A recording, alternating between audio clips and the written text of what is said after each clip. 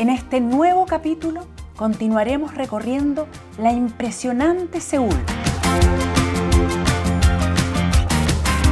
En el anterior nos dejamos maravillar con sus imponentes palacios y la forma en que han sabido combinar de una manera tan armónica la arquitectura antigua y moderna.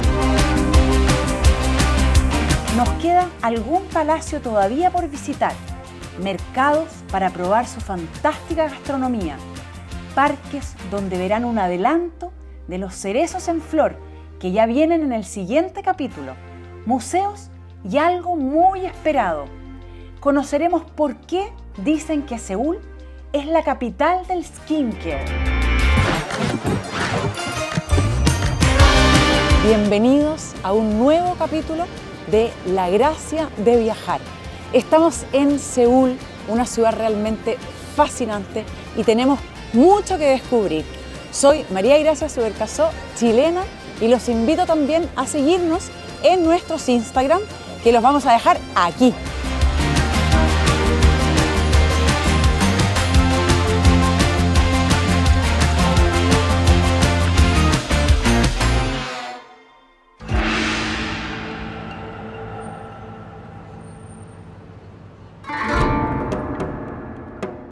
En el Palacio Chandeugong. Estoy haciendo mi mejor esfuerzo para hablar en coreano.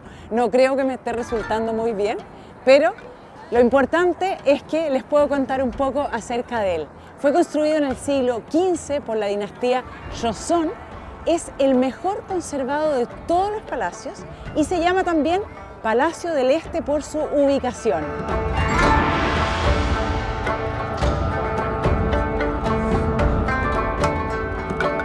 Aquí se pueden ver las yiwas, que son las tejas que son hechas a mano y las que tienen la figura del dragón son para todos los palacios, para todas las edificaciones que son eh, reales. Y aquí se pueden ver las tejas que tienen también esos dibujitos.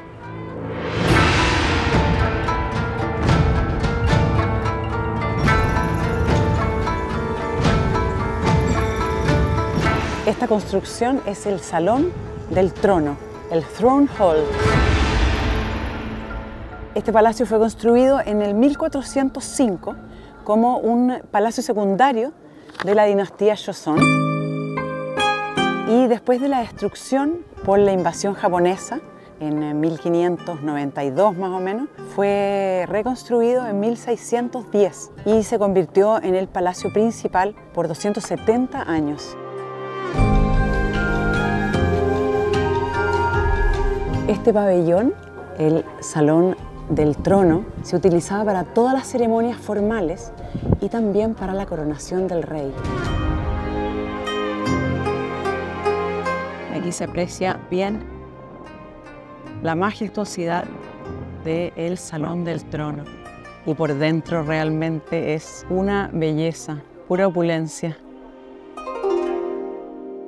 Esto es realmente una maravilla. Se nota que este era el salón del trono, por la ornamentación, la belleza, y ahí se hacían las coronaciones. Este magnífico pabellón es la residencia del rey, pero es mucho más que solamente una habitación, algo que es bastante evidente. Es una habitación magnífica, pero aquí también el rey trabajaba informalmente este era su lugar para pasar su tiempo, para trabajar y para descansar también. Y es realmente maravillosa. Estos decorados, estas flores, estas pinturas, todo lo hace absolutamente sublime. Esto es realmente precioso.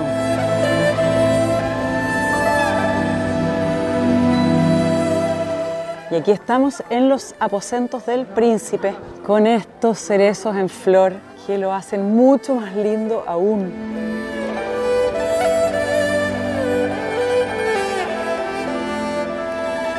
Todo el mundo quiere una foto con los cerezos en flor. Realmente un espectáculo ver esta maravilla.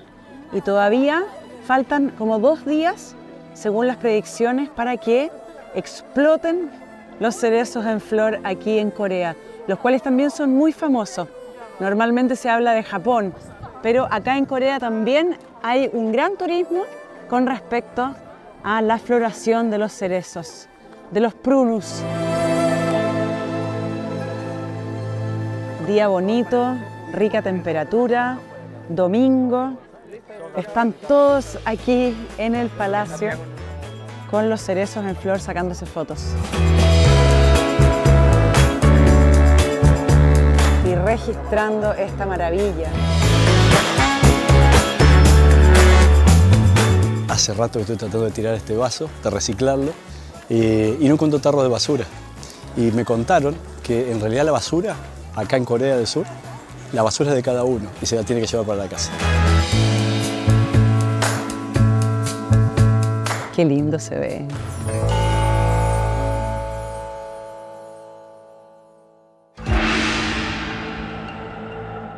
Seúl no solo encanta por sus clásicas construcciones y palacios.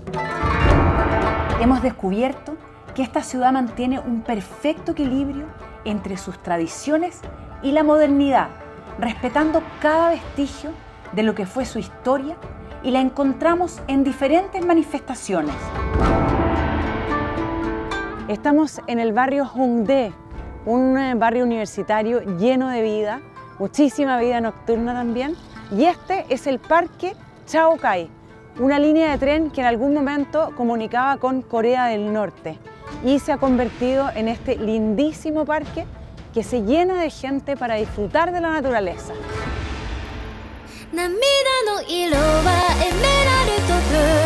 Aquí se ve la línea del tren convertido en parque, al igual que el High Line en Nueva York, solo que este está a nivel tierra.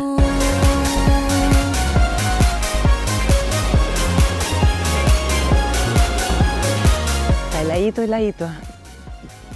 Ahora sí se siente la baja temperatura aquí en Seúl. Cuando no está el sol está rico, pero corre un viento muy helado. En todos lados está demarcado el sentido y normalmente la gente lo respeta, normalmente, hasta que llegan los chilenos. Pero los coreanos sí respetan el sentido de la vía. En los pasos peatonales, en los parques, en el metro, en todos lados hay una flechita que indica hacia dónde uno tiene que, por qué lado tiene que ir.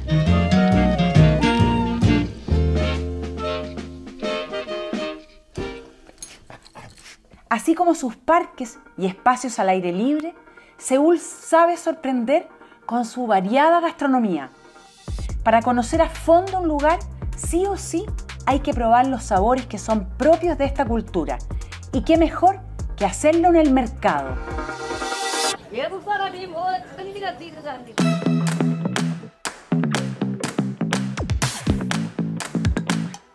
Y estamos nuevamente en un mercado, este se llama Mercado Namdaemo y es el más grande y el más antiguo de Seúl. Es del siglo XV, se inauguró en 1414, justo iniciado la dinastía Joseon, que es de 1392 y la más larga porque duró hasta 1910. Este mercado comenzó primero solo vendiendo pescados y ahora hay, pero de todo. Como ven, está pero lleno de ropa, de artefactos electrónicos, maletas, todo lo que quieran lo pueden encontrar aquí.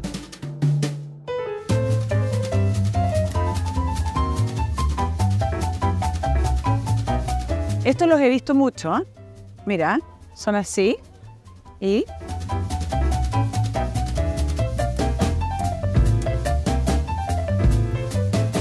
¿Cómo se ve? Hermosa.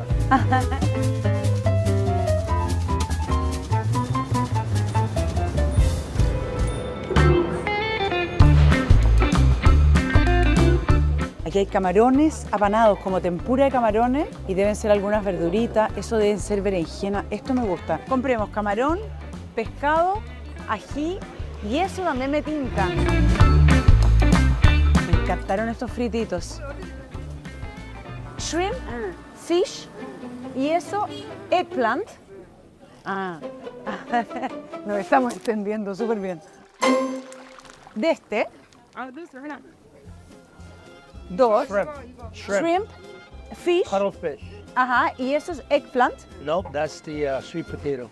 sweet potato, eso te va a gustar, camote, and this one is um, chili. Pepper. Pepper. Inside there's some meat in there. Ah, this is delicious. Es un, un pepper, es como un eh, pimiento y, a- y adentro tiene carne. Eso me gustó. Ok, entonces, camarón, pescado, eso y quieren un sweet potato, ok. Esto me salió 11 mil won, que son como 7 mil pesos más o menos, o 8 mil pesos. Hamsamida. Soy súper coreana.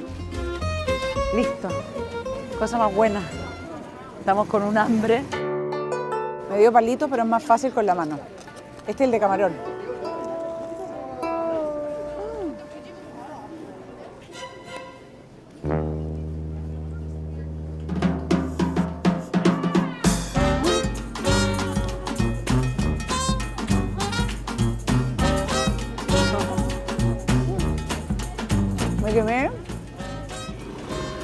Hasta el alma. Mm. Están buenísimos. Y además, tengo mucha hambre.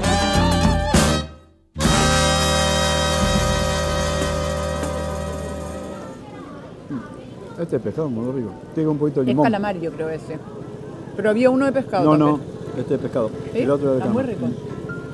Tiene un poquito de limón. El de pescado. Pero no solo comida encontramos en el mercado Namdaemo, también miles de objetos curiosos que inevitablemente llaman nuestra atención. Estas bolsas las vimos por ahí y son chiquititas así y uno puede meter muchas cosas y se estiran. Tienen esta tela como recogida y luego se estiran muy grandes y se ven pequeñitas. Son elasticadas y hay de todos tamaños. Estas son más grandes. Entonces aquí uno puede meter las compras, las verduras, todo lo que necesite y se le estira montones. Son típicas de acá. Cosa más linda, el paraíso del papel. Miren qué belleza. Tienen texturas además estos. Realmente increíble esta tienda. Seúl no solo es vanguardia, modernidad y tradición, también han sabido honrar muy bien su historia y la exhiben en sus museos. Este es el Museo Nacional de Corea y vamos a entrar ahora, es gratis. Este es el primer museo del país en narrar la historia completa de Corea desde el siglo XIX hasta la actualidad. Su objetivo es educar, instruir y enseñar al público visitante el pasado cercano y el presente del país a través de diversas exhibiciones, presentaciones y materiales.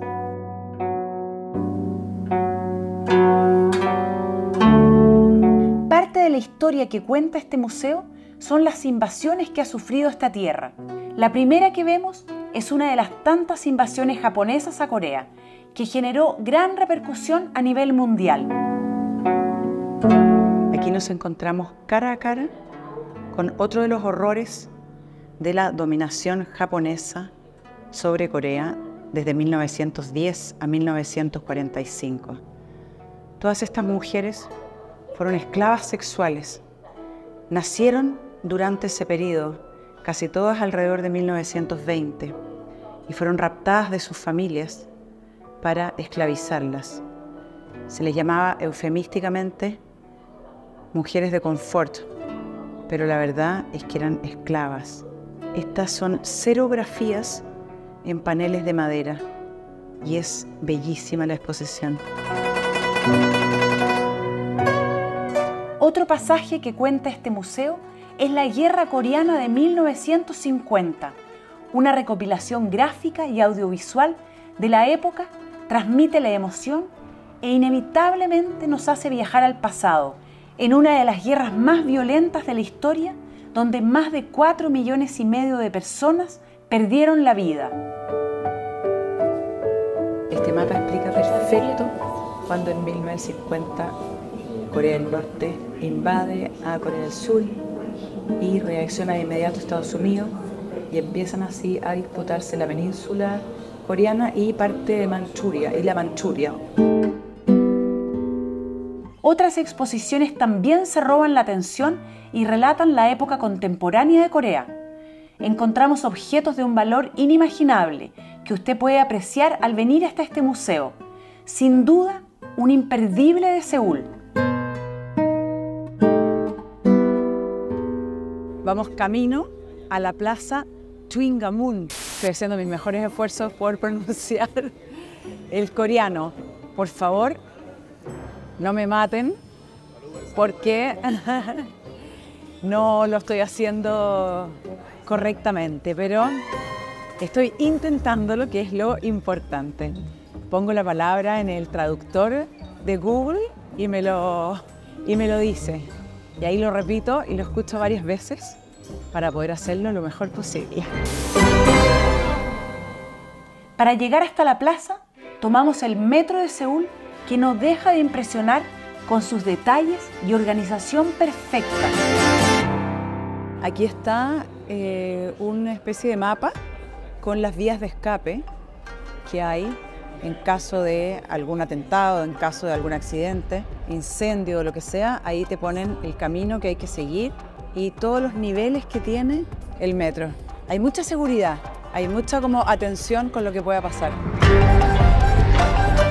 En todas las estaciones de metro hay máscaras para eh, gases o para fuego, aquí también para respirar y acá están, en caso de algún ataque, de algún atentado, están preparadas todas las estaciones. No hay muchas máscaras, eso sí, hay 20. El metro es considerado un refugio. Hay algunos carteles que dicen que se pueden guarecer en caso de atentado, en caso de una invasión.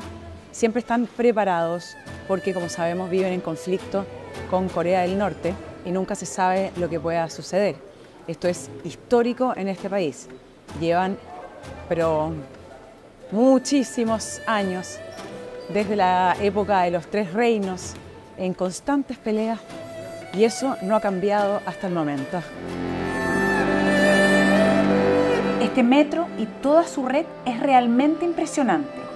Qué maravilla de cultura, cómo cuidan a las personas mayores. Ellos tienen sus espacios reservados y son sagradamente respetados. Thank you. Aquí se ve, ese asiento solamente es para la gente de tercera edad. Entonces, eh, ahí están y uno no puede usarlos. Y aquí están los símbolos. Y acá en Corea es una sociedad que es muy respetuosa, pero especialmente muy respetuosa con las personas mayores. Y eso es digno de destacar. Cuando uno saluda a una persona mayor, debe inclinar la cabeza. Si uno recibe algo de una persona mayor, tiene que hacerlo con ambas manos en señal de respeto. Eh, si se encuentra con alguien, tiene que pararse. Al llegar a una mesa, es la persona mayor quien te debe indicar dónde te sientas. Tú le debes pasar los cubiertos y él es el que da la empezada a comer los alimentos. Realmente es impresionante cómo se respeta y se tiene en consideración a las personas mayores, algo que uno debería aprender.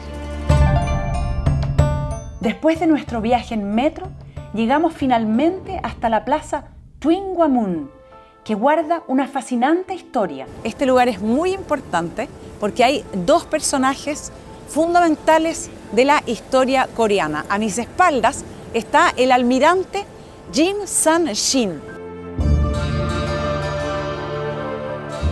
Él defendió a la patria durante las invasiones niponas de 1592 en la dinastía Joseon. Y además se le atribuye la invención de esa embarcación que se llama barco tortuga que tiene a sus pies.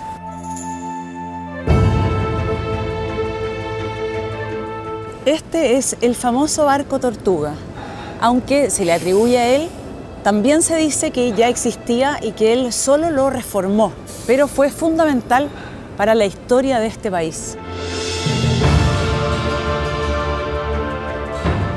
Esta figura tiene al frente una pileta que en este momento no está funcionando, pero que recuerda la travesía de este almirante. La pileta se llama 1223 y es porque enfrentó 23 batallas con sus 12 naves.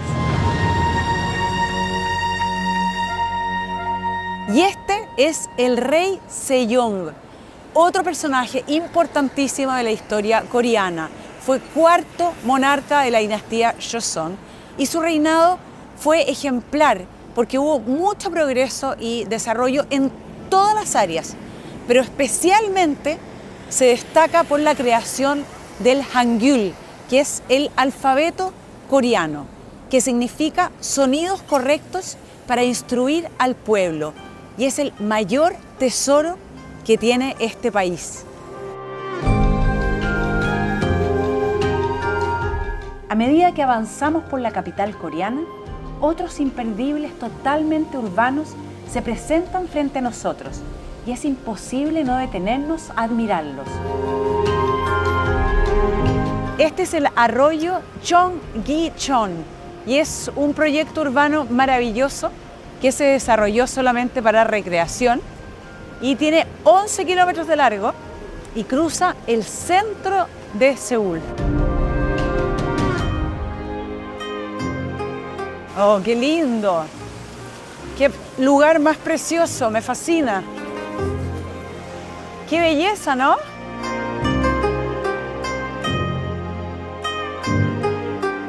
Cae la noche en Seúl y las luces cobran vida. Una calle muy especial aguarda nuestra visita. Llena de vida, olores y sabores irresistibles. Se trata de la calle Myeongdong.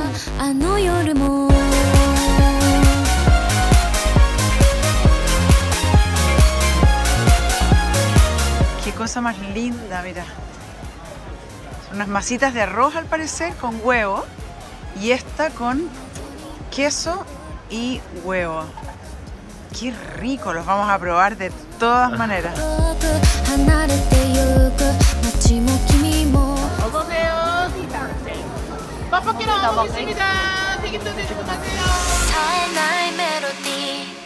Es impresionante la variedad de preparaciones que ofrecen en esta famosa calle, para todos los gustos y preferencias. Esta es apenas la bienvenida a este sector, que además ofrece lugares de entretención y variedades de productos de belleza. Corea se ha convertido en una potencia mundial de la cosmética. Y en esta calle, Myeongdong, se encuentra la mayor concentración de tiendas de skincare que ustedes se puedan imaginar.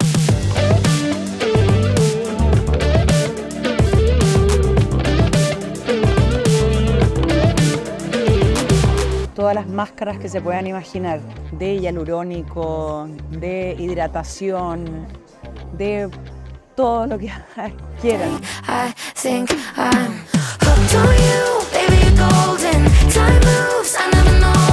Son pasillos y pasillos de máscaras. Esta está buenísima, es para la papada. Aquí hay una para el cuello, neck lifting, y aquí hay una de oro. Y estas máscaras son para los labios, para hidratar los labios. Hay de todos colores.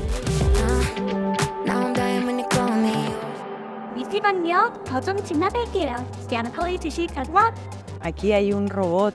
Me persiguen los gatos. Hasta los robots gatos me persiguen.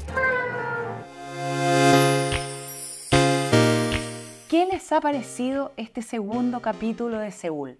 ¿Qué ciudad más fascinante? Aún no terminamos de mostrarles todos los lugares asombrosos que hay por descubrir. Así es que en el próximo capítulo continuaremos disfrutando de lo fantástica que es esta ciudad, sobre todo de sus magníficos cerezos en flor y mucho más.